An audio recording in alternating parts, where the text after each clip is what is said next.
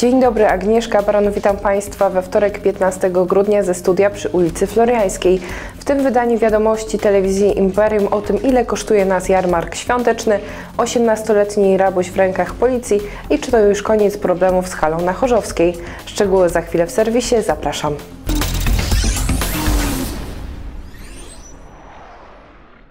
Śmierć i zjawiska jej towarzyszące to temat kolejnego wykładu Wszechnicy Naukowo-Kulturalnej prowadzonej przez Polską Akademię Umiejętności.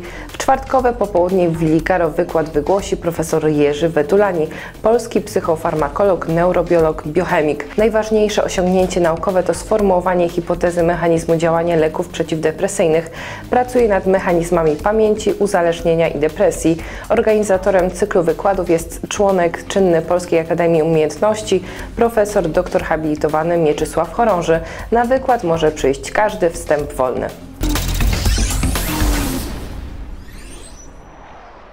Koniec roku zaowocuje na pewno podsumowaniami, zwłaszcza zestawieniami finansowymi.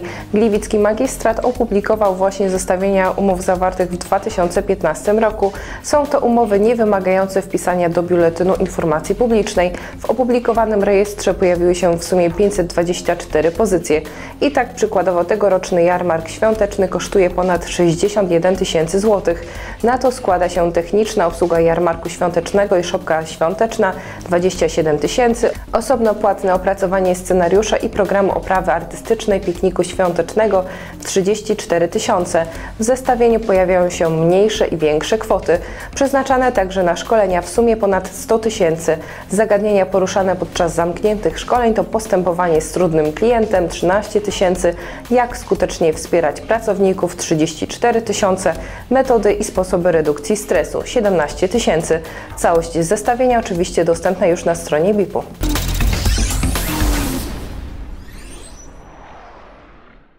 W ostatnich tygodniach w Gliwicach grasował rozbójnik. Napastnik zachodził od tyłu starsze kobiety i wyrywał torebki. Wczoraj policja złapała przestępcę. Schemat działania sprawcy był zawsze taki sam. Podbiegał do zaskoczonej y, kobiety, bo atakował zawsze kobiety y, w średnim wieku i starsze. Wyrywał torebkę, czasami popychał. Y, Wczoraj o 18.50 doszło do takiego ataku, do tak zwanej wyrwy y, na ulicy Kozielskiej. 56-letnia mieszkanka Gliwic, y, idąc chodnikiem, nagle została popchnięta, wyrwano jej torebkę z zawartością dokumentów, wiadomo co się w torebce nosi, ale łączna wartość straty to 1120 zł. Taką też kradzież ta pani zgłosiła policji. Tego typu sytuacje zawsze elektryzują policję. W rejon wyjechały, tego zdarzenia wyjechały większej ilości policjantów, którzy przeczesywali okolice. Jak się okazało, ten sprawca zdołał, znaczy wyrzucił torebkę i te wszystkie przedmioty, zabrał ze sobą natomiast e, pieniądze i kartę bankomatową. Tą kartą bankomatową próbował płacić w jednym ze sklepów. Został jednak zatrzymany w całkiem innych okolicznościach. Tutaj dzięki dobrej pracy operacyjnej policjantów z pierwszego komisariatu, którzy po prostu typowali potencjalnego sprawcę i to typowanie okazało się trafne. Został zatrzymany na ulicy, był zaskoczony. E, Szybko przyznał się policjantom, że dokonał podobnych e, przestępstw i to był przedział czasowy od końca listopada do wczoraj, można powiedzieć, e, łącznie sześć e, przypadków tego typu kradzieży.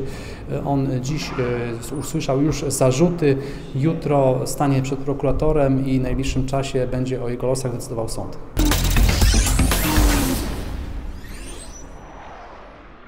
Skomplikowana sytuacja hali sportowej przy ulicy Chorzowskiej 5 ustabilizowana.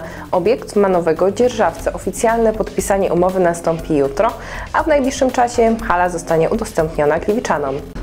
Losy hali przy ulicy Chorzo- Chorzowskiej są ostatnio bardzo zawiłe, co jest przyczyną e, wszelkich problemów. Problemy zaczęły się e, podczas realizowania umowy, podczas e, reali- realizowania umowy z, z dotychczasowym dzierżawcą, czyli firmą Endorfina.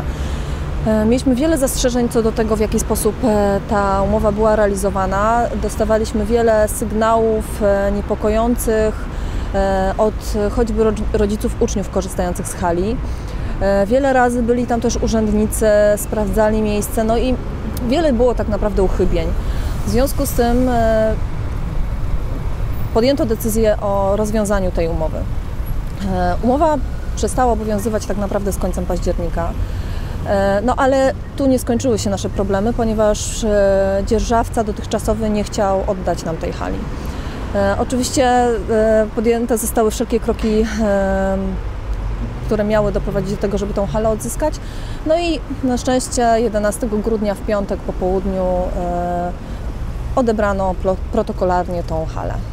A kto jest nowym dzierżawcą? Nowy, nowym dzierżawcą, z nowym dzierżawcą umowa zostanie podpisana y, w środę. Jest to firma Vesper, czyli y, ten sam dzierżawca, który działa już i, i zajmuje się halą przy ulicy Górnych Wałów. Wygrał on przetarg na kolejną dzierżawę tego obiektu. I to już wszystko we wtorkowych wiadomościach telewizji Imperium. Przypomnę, że można nas oglądać w sieci kablowej Imperium Telekom. Jesteśmy też w internecie. Nasz wirtualny adres to tvimperium.pl. Dziękuję za dziś. Zapraszam jeszcze na sport i prognozę pogody. Życzę miłego popołudnia.